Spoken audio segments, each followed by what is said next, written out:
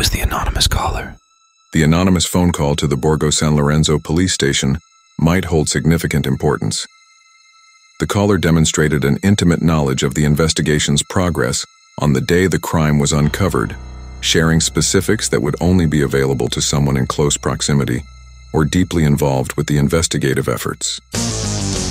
Watch the full documentary and delve deeper into the incredible story of the Monster of Florence. Support our endeavors by subscribing to the Rete Tosta channel and activating the notification bell.